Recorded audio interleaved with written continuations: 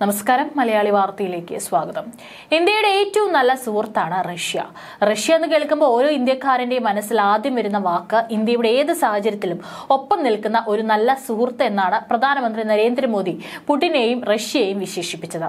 പക്ഷേ യുക്രൈനെതിരായ സൈനിക നടപടിയെ തുടർന്ന് റഷ്യക്കെതിരെ അമേരിക്ക ഏർപ്പെടുത്തിയ ഉപരോധത്തെ തുടർന്നായിരുന്നു ഇന്ത്യ ഉൾപ്പെടെയുള്ള തങ്ങളുടെ സൗഹൃദ രാജ്യങ്ങൾക്ക് റഷ്യ വമ്പൻ ഡിസ്കൗണ്ടിൽ ക്രൂഡ് ഓയിൽ വിൽക്കാൻ തീരുമാനിച്ചത്. ഇത് റഷ്യയ്ക്കും ഇന്ത്യക്കും ഒരുപോലെ ഗുണകരമാവുകയാണ് ഉണ്ടായത്. വർഷങ്ങളായി ക്രൂഡ് ഓയിൽ ഇറക്കുമതി ചെയ്തിരുന്ന അറേബ്യൻ രാജ്യങ്ങളെക്കാൾ കുറഞ്ഞ ചെലവിലാണ് റഷ്യ ഇന്ത്യയ്ക്ക് ക്രൂഡ് ഓയിൽ നൽകിയത്. റഷ്യയിൽ നിന്ന് എണ്ണ വാങ്ങുന്നതിലൂടെ ഇന്ത്യയ്ക്ക് ആഗോള എണ്ണ പ്രതിസന്ധിയെ മറികടക്കാൻ കഴിഞ്ഞെന്ന് പെട്രോളിയം പ്രകൃതിവാതക മന്ത്രി ഹർദീപ് സിംഗ് പുരിയും പറയുന്നു. റഷ്യൻ എണ്ണ വാങ്ങുന്നത് ഇന്ത്യ നിർത്തിയിരുന്നെങ്കിൽ ലോകത്ത് ക്രൂഡ് ഓയിൽ വില അനുദിനം വർദ്ധിക്കുമായിരുന്നുവെന്നും അദ്ദേഹം വ്യക്തമാക്കി. ഇന്ത്യയുടെ ഊർജ നയം പ്രായോഗികമാണെന്നും എണ്ണവിലയിൽ റഷ്യ വാഗ്ദാനം ചെയ്യുന്ന നിരക്കുകൾ ജനങ്ങൾക്ക് താങ്ങാനാവുന്നതാണെന്നും കേന്ദ്ര പെട്രോളിയം മന്ത്രിയും ചൂണ്ടിക്കാട്ടി. റഷ്യൻ എണ്ണ ഒരിക്കലും ഉപരോധത്തിന് വിധേയമായിരുന്നില്ല. റഷ്യ യുക്രൈൻ യുദ്ധം ആശങ്കകൾക്കിടെ.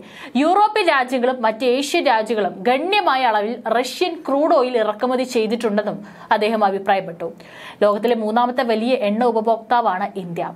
ഏത് എണ്ണധാതുക്കളായാലും അവർ മിതമായ നിരക്ക് വാഗ്ദാനം ചെയ്താൽ അത് ഇന്ത്യ വാങ്ങുമെന്നും ഹർദീപ് സിംഗ് പുരി പറഞ്ഞു. അതുതന്നെയാണ് ഇന്ത്യ ചെയ്തുകൊണ്ടിരിക്കുന്നത്. ഇന്ധനവില കുറയുന്നതിലൂടെ ഇന്ത്യയുടെ സമ്പദ് വ്യവസ്ഥയ്ക്കും ജനങ്ങൾക്കും പ്രയോജനം ചെയ്യുന്നു. അതേസമയം ഈ വർഷം ഒക്ടോബറിൽ മറ്റ് രാജ്യങ്ങളിൽ നിന്ന് കുറഞ്ഞ വിലയിൽ എണ്ണ തരാമെന്ന വാഗ്ദാനത്തെ തുടർന്ന് റഷ്യയുടെ എണ്ണ ഇറക്കുമതി ഇന്ത്യ പത്ത് ശതമാനം കുറച്ചു. സ്ഥിരതയും താങ്ങാനാവുന്ന വിലയും ഉറപ്പാക്കാൻ മികച്ച ഓഫറുകൾ വാഗ്ദാനം ചെയ്യുന്നവരിൽ നിന്ന് ഇന്ത്യ എണ്ണ വാങ്ങുമെന്നും അദ്ദേഹം പറഞ്ഞു. ജൂലൈയിൽ ഇന്ത്യയിലേക്കുള്ള മൊത്തം ക്രൂഡ് ഓയിൽ ഇറക്കുമതിയിൽ നാൽപ്പത്തിനാല് ശതമാനം റഷ്യയിൽ നിന്നായിരുന്നെങ്കിൽ ഓഗസ്റ്റിൽ അത് മുപ്പത്തിയാറ് ശതമാനത്തിലേക്ക് ഇടിഞ്ഞെന്ന് കണക്കുകൾ വ്യക്തമാക്കുന്നു. അതേസമയം ഇറാഖിൽ നിന്നുള്ള ഇറക്കുമതി വർദ്ധിക്കുകയും ചെയ്തു. പതിനെട്ട് പോയിന്റ് മൂന്ന് ശതമാനം കുറവോടെ പ്രതിദിനം പതിനേഴ് ലക്ഷം ബാരൽ ക്രൂഡ് ഓയിലാണ് കഴിഞ്ഞ മാസം ഇന്ത്യ റഷ്യയിൽ നിന്ന് വാങ്ങിയത്. ഇന്ത്യയുടെ ഏറ്റവും വലിയ ക്രൂഡ് ഓയിൽ സ്രോതസ്സാണ് ഇപ്പോഴും റഷ്യ. എന്നാൽ തുടർച്ചയായി അഞ്ച് മാസക്കാലം റഷ്യയിൽ നിന്നുള്ള ഇറക്കുമതി വിഹിതം കൂടിയെങ്കിലും കഴിഞ്ഞ മാസം മലക്കം മറിഞ്ഞു. ഇറാഖ് സൗദി അറേബ്യ എന്നിവയാണ് ഇന്ത്യയ്ക്ക് എണ്ണ നൽകുന്നതിൽ യഥാക്രമം രണ്ടും മൂന്നും സ്ഥാനങ്ങളിലുള്ളത്. സൗദി അറേബ്യയിൽ നിന്ന് കഴിഞ്ഞ മാസം പ്രതിദിനം നാല് പോയിന്റ് ഒൻപത് എട്ട് ലക്ഷം ബാരൽ ഇന്ത്യ ഇറക്കുമതി ചെയ്തിരുന്നു. പക്ഷേ ഇത് രണ്ടായിരത്തി ഇരുപത്തി മൂന്ന് ജൂലൈക്ക് ശേഷമുള്ള ഏറ്റവും താഴ്ന്ന ഇറക്കുമതിയാണ്. പ്രതിദിനം ഒന്ന് പോയിന്റ് മൂന്ന് എട്ട് ലക്ഷം ബാരൽ കനേഡിയൻ എണ്ണയും രണ്ട് പോയിന്റ് അഞ്ച് നാല് ലക്ഷം ബാരൽ അമേരിക്കൻ എണ്ണയും ഓഗസ്റ്റിൽ ഇന്ത്യ വാങ്ങി.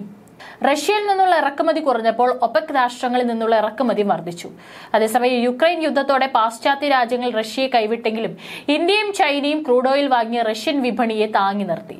റഷ്യയിൽ നിന്നുള്ള ക്രൂഡ് ഓയിലിന് വില വളരെ കുറച്ചാണ് ഇന്ത്യയ്ക്ക് നൽകിയിരുന്നത്. പ്രധാനമന്ത്രി മോദിയും റഷ്യൻ പ്രസിഡന്റ് പുടിനുമായി ചേർന്ന് നടത്തിയ തന്ത്രപരമായ ചർച്ചകളെ തുടർന്നാണ് ക്രൂഡ് ഓയിൽ ഇന്ത്യയ്ക്ക് കുറഞ്ഞ വിലയ്ക്ക് നൽകിയത്.